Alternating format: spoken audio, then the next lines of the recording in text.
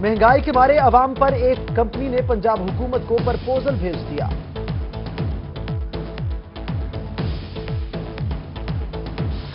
بہاولپور کے عوام waste management اور میونسپل کارپوریشن پر برس پڑے، شہر بھر میں جا بجا موجود گندگی پر شہری انتظامیہ سے نالا۔ کہتے ہیں پہلے شہر کی صفائی کریں، پھر ٹیکس لگائیں۔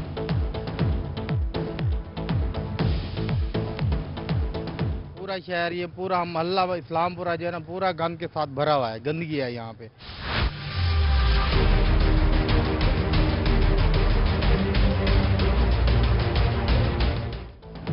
پاکستان میں پہلی بار ٹیکس گوشوارے فائل کرنے والوں کی تعداد اٹھارہ لاکھ سے تجاوز کر گئی۔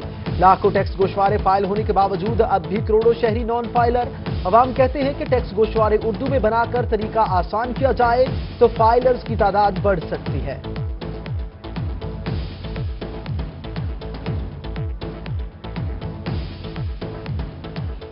انگلش میں فارم ہے نا، یہ ہمیں سمجھ نہیں آتا۔ اسے آپ اردو میں لے آئیں سادہ سا فارم بنائیں پورا پاکستان ٹیکس دینے کے لیے تیار ہے۔ ملتان میں دھاگے کے کارخانوں میں لکڑی کے استعمال میں اضافہ گیس نہ ملنے سے پاور لومز متاثر۔ کاروبار میں کمی سے مالکان پریشان۔ دھاگے سمیت دیگر کارخانوں کے مالکان کا کاروبار بچانے کے لیے لکڑی پر منحصر۔ شہر بھر میں درختوں کی کٹائی کا سلسلہ جاری۔ پاور لومز مالکان لکڑی جلانے پر مجبور۔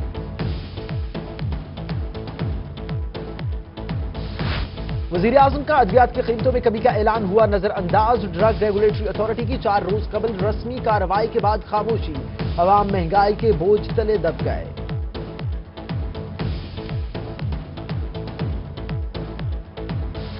اعلی حکام سے نوٹس لینے کا مطالبہ۔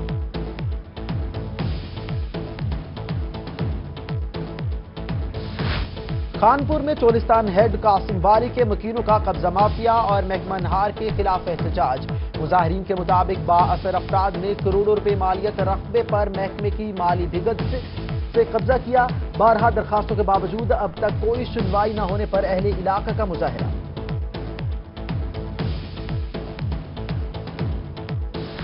محکمہ پبلک ہیلتھ انجینئرنگ میاوالی کے کانٹریکٹ ملازمین کا احتجاج۔ گیارہ سال گزرنے کے باوجود ریگولر نہ کرنے پر انتظامیہ کے خلاف مظاہرہ، مظاہرین کا جلد مطالبہ نہ ماننے پر احتجاج کا دائرہ کار وسیع کرنے کا فیصلہ۔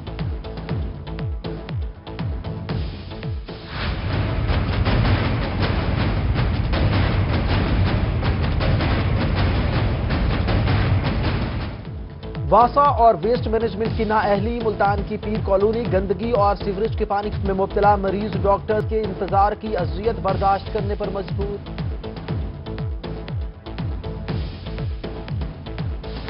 احمد پور شرکیہ میں گیس سلنڈر کی فلنگ کے دوران سلنڈر پھٹ گیا۔ دکان میں موجود دو افراد زخمی۔ دکان کی چھت بھی اٹھ گئی۔ زخمی وکٹوریا اسپتال منتقل۔ ڈیرہ غازی خان میں وقفے وقفے سے بارش کا سلسلہ جاری۔ قصبہ وڈور کی ندی نالوں میں تغیانی ہزاروں ایکڑ رقبے پر پھیلی گندم کی فصل تباہ۔ محکمہ موسمیات کی بوجھ تک بارش کی پیش گوئی۔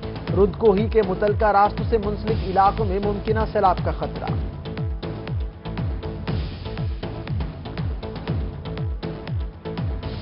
اور صادق آباد اور گردنوا میں ہلکی بارش کے بعد موسم خوشگوار، شہریوں کے چہرے کھل اٹھے۔ محکمہ موسمیات کا آئندہ چوبیس گھنٹوں میں وقفے وقفے سے بارش کا امکان